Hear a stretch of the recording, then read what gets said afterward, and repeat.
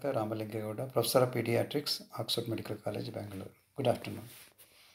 Today's uh, topic is um, acute bacterial meningitis in children. The definition of meningitis is the inflammation of the membranes surrounding the brain and the spinal cord, including the dura, arachnoid, and pia mater.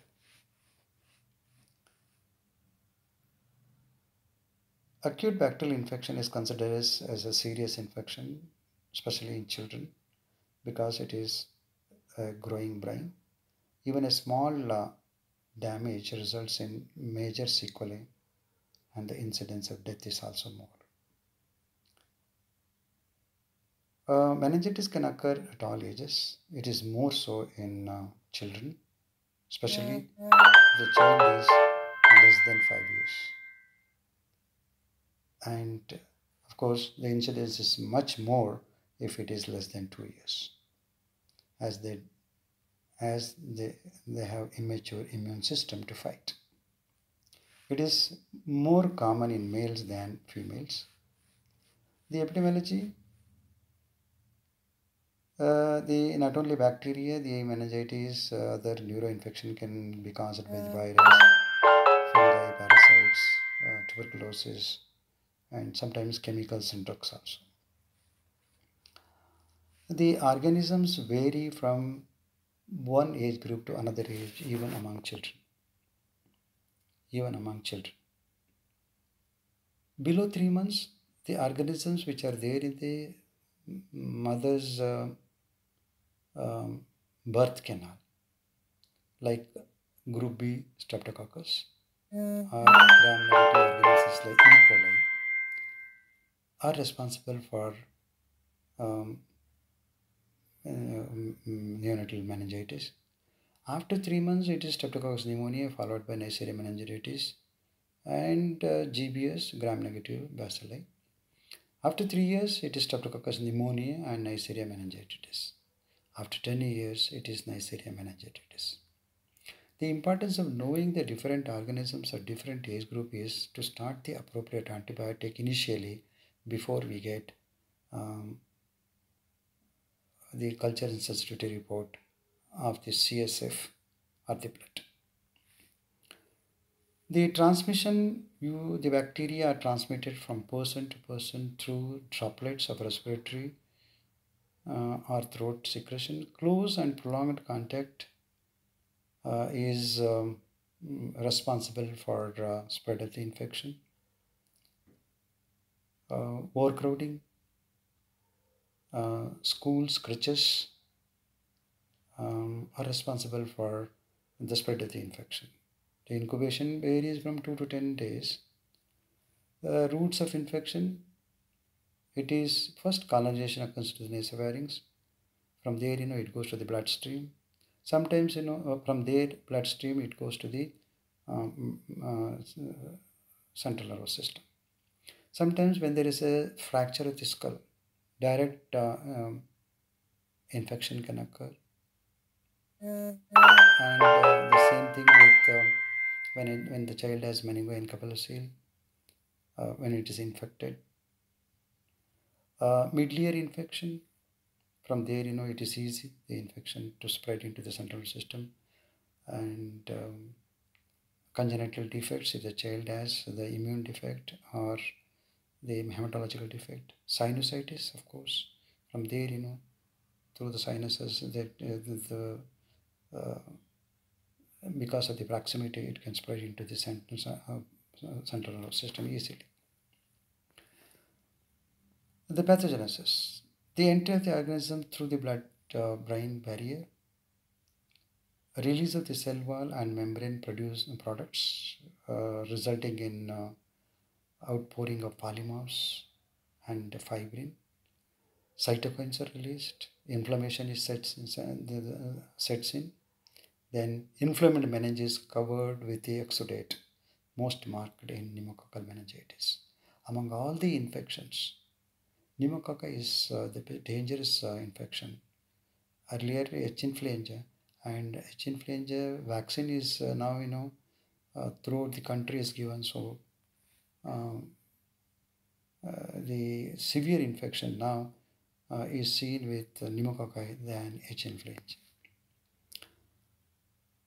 Um, the meningeal irritation uh, signs are uh, inflammation of the spinal nerves and roots uh, because of the exudates and uh, adhesive thickening um, of the arachnoid and uh, at the basal uh, cistern and uh, fibrosis of the aqueductal, for, aqueductal or foramina of Luschka and meningeal hydrocephalus, cerebral atrophy due to thrombosis of the vessels, seizure uh, due to neur- uh, depolarization of the neuronal membrane.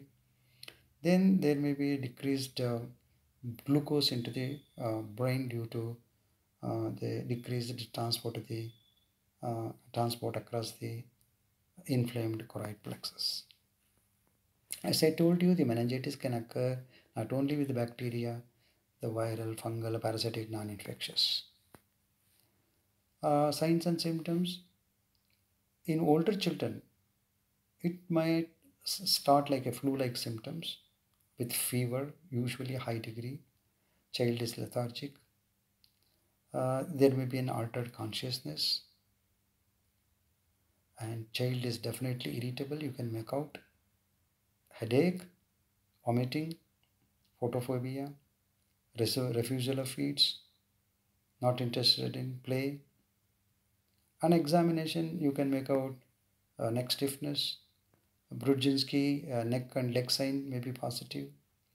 Uh, and there may be skin rashes you see in some bacterial infections like pneumococci and H. influenza. There may be skin rashes. And some children may present with seizures. But in younger children, like neonates and infants, the manifestation is little different.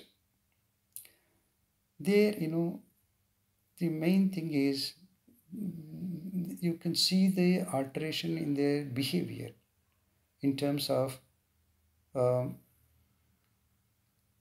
refusal of feeds most of the time. They don't show interest for the feeds. And if child is uh, very uh, young, apnea can manifest and jaundice, neck rigidity only after one year. And the temperature instead of uh, in uh, small children Instead of fever, there may be hypothermia. Uh, as I told you, poor feeding, irritable. They may uh, they also might have vomiting, and on examination, bulging fontanelle, bulging fontanelle, and reflexes may be poor. See, this is the uh, sign. Here you see the hip, hip is uh, flexed, then leg is extended knee is extended and when it is extended because of the spinal uh, roots are pulled so the child experiences pain and here it is the Brudzinski neck sign when the neck is bent when the neck is bent the hips are flexed this is called Brudzinski head sign and there is one more uh, Brudzinski leg sign where the hip when the hip is flexed the other hip is also be flexed automatically. Investigations. And you should, uh, when the, uh, before we go to the in investigation, you should thoroughly examine the child uh, for source of infection, throat, skin, and you should strip the child nude, then examine, there may be a petechiae in the um, nappy area so the child should be stripped naked and examination to be done. Especially in meningococcal meningitis, it is such a severe infection. So the one there may be one petechiae that gives the clue. By evening, if you don't make a diagnosis, one within 24 hours, the child can go into coma and death. Such a severe infection in meningococci. So coming to the investigation, you have to do the blood examination and uh, uh, culture, CBC, gram staining, electrolytes, um, coagulation profile, liver, kidney, uh, fun uh, function test, um, if necessary, if respiratory infection, chest X-ray, and for a clear uh, this thing, you know, um,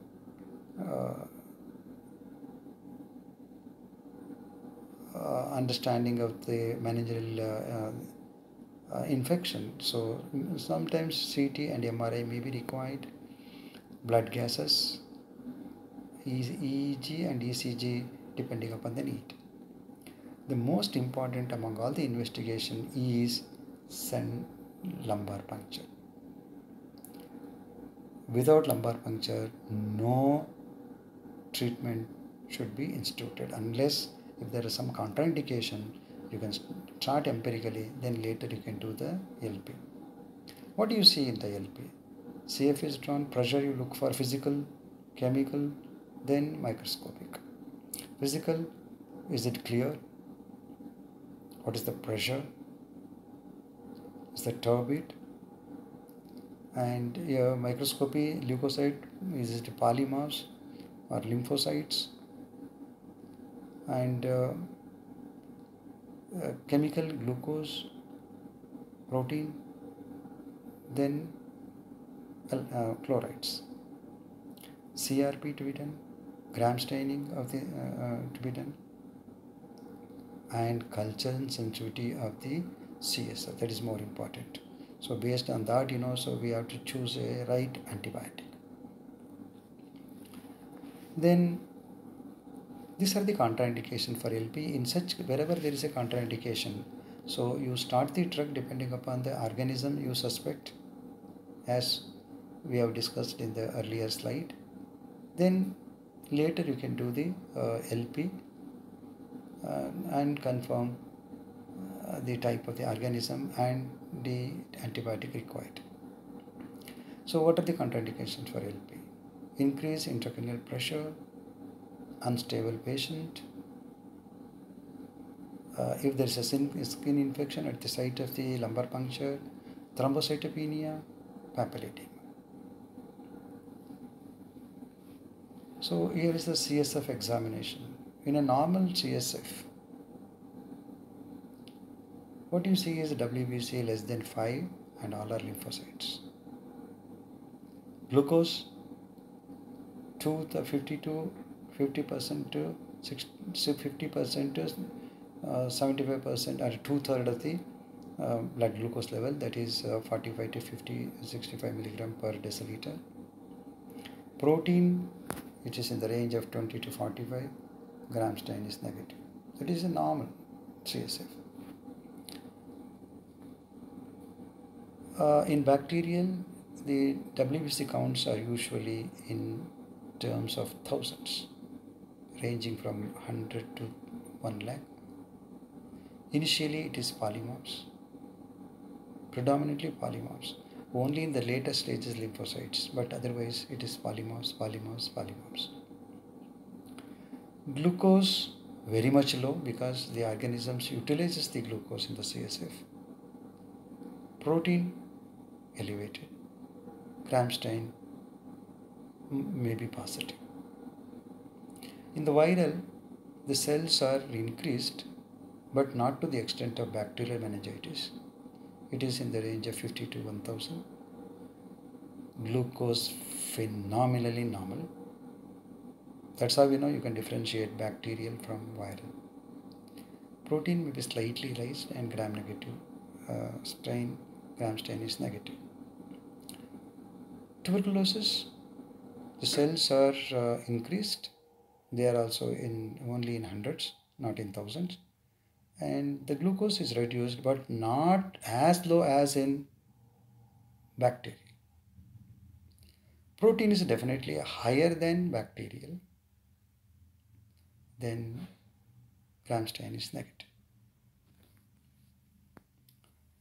so the other tests done are latex uh, particulate agglutination test uh, to detect the presence of bacterial antigen of uh, the common organisms like H. influenzae, Streptococcus pneumoniae, Neisseria meningis, E. coli, etc. Concurrent immunoelectrophoresis, rapid detection test for H. influenzae, Streptococcus pneumoniae, and meningitis. And whenever there is a skin uh, purpuric spots, you take uh, the scraping and uh, prepare the smear, look for meningococci in meningococcal cocemia. and RT-PCR wherever facilities are available to detect the um, gene sequence, DNA sequence, so that you know um, easy to make a diagnosis. In the CSF, two things uh, very important: CRP and culture sensitivity should not be should not be forgotten.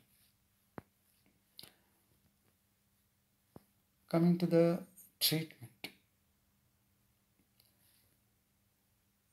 there is there are two types of treatment. One is supportive treatment, another is specific treatment. Supportive treatment is to maintain the fluid and electrolyte balance as required.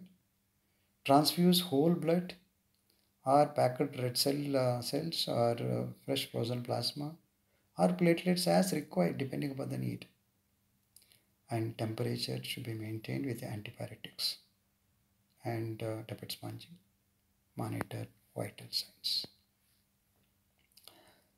and coming to the um, specific treatment antibiotics uh, the antibiotics duration is one to three weeks depending upon the type of the organisms we are dealing initially one before giving antibiotic specific treatment, one dose of steroid is preferred in bacterial meningitis, especially dexamethasone. Especially in the in case uh, if the causative organism is H. influenzae, we don't know whether it is H. influenza. So one dose is given. That will prevent the damage, especially to the eighth nerves, sensory sensorineural, sensorineural deafness uh, incidence will come down if one dose of dexamethasone is used. The outcome will be good. So coming to the uh, treatment, as I mentioned earlier, uh, to get the culture sensitivity, we require at least uh, three to four days. Okay. And and culture sensitivity report we cannot wait. We have to start antibiotic early. Depending uh, upon the type of the depending upon the type of the organism that is based on the age uh, age of the child so we can predict the organism and we have to choose the organism we have to choose the antibiotic to cover those organisms if you think that if it is neonate there we know that it is uh, group B streptococci and uh, the gram negative.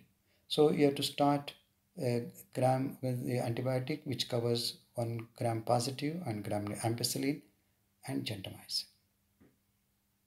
One to cover gram negative, another to cover gram positive. And if it is, uh, if you think that, you know, uh, meningococci, that is in the older children. You have to start penicillin 2 to 5 lakhs units per kg per day. Then if H influenza in younger children, you have to start third generation cephalosporin like cefotaxime, higher dose 200 milligram per kg per day and ampicillin. Or sometimes, you know, you may have to give uh, ampicillin um, because sometimes in younger children, uh, Listeria monocytogenes, uh, that is covered only by ampicillin. If it is E. coli, as I told you, that is in the, this thing, uh, gram negative and gram positive. You have to start both. So we don't know organism, but gentamicin covers the E. coli. Then if it is a group B streptococci, penicillin. 50,000 international units per kg IV fourth ability. Then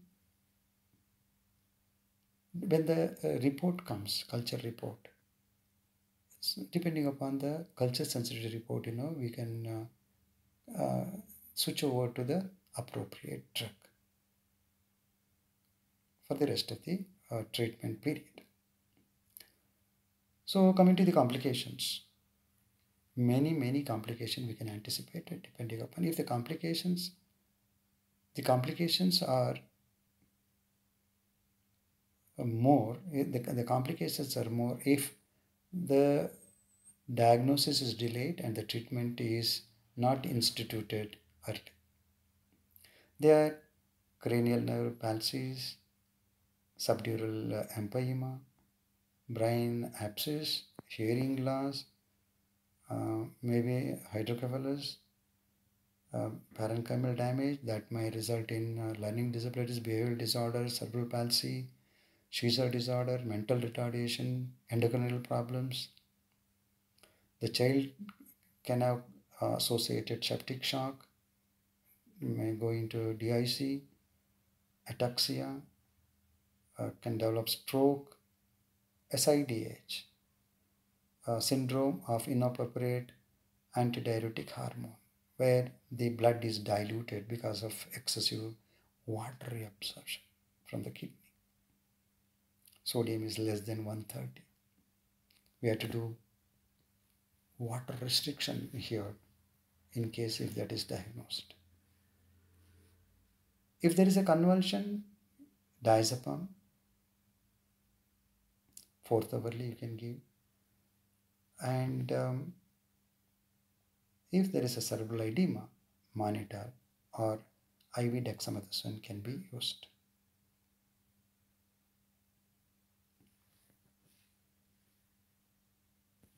Subdural effusion, I want to uh, emphasize one point here. That we have started the treatment, child showed response, uh, uh, response in the, how do you say there is a response to the drug you have started? The fever has come down. That is a good clinical marker. Vomiting stops. Chain irritability uh, comes down. Child starts showing interest for food, sleeps well. These are the indications. Clinical marker to assess the uh, re- response. Such a child which has shown uh, initial response and if it again develops fever, vomiting, and other symptoms, one should suspect the subdural effusion in acute bacterial meningitis. And that if it is large, that has to be removed or aspirated. So, uh, if it is the shock, so treat that with IV fluids and maintain the BP. If there is an SIDH, restrictive fluids to 800 to 1000 ml per meter square per 24 hours. And if there is hyperpyrexia, uh, the fever to be brought down by tepid sponging and antipyretics. The prognosis depends upon the age of the child, the nutritional status of the child, and how early the diagnosis is made and the treatment is started, and what is the organism responsible for the infection. It is uh, not one factor, it is a multifactorial.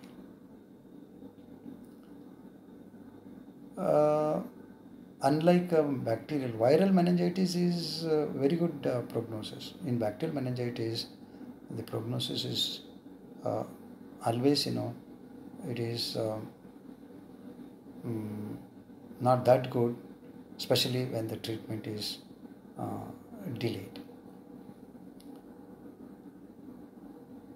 And as I told you, the uh, patient age is less, less than two years. The prognosis is not that good. And at the same, and another uh, clinical marker is if the child is uh, impaired consciousness when it is uh, presented to the hospital, uh, then also the prognosis is somewhat not good. A seizure, again, not a good sign. And uh, in such cases, you know, the prognosis is um, uh, not as good as without in a child without seizure. Acute uh, bacterial meningitis is a medical emergency and delays in instituting effective and antimicrobial therapy result in increased morbidity and mortality. Wherever uh, there is an immunocompromised uh, state and opportunistic uh, pathogens are there, then also the prognosis is not good. Coming to the very important uh, aspect of the prevention of this meningitis. So we have to promote the health of the child. How to promote? We have to give good nutrition.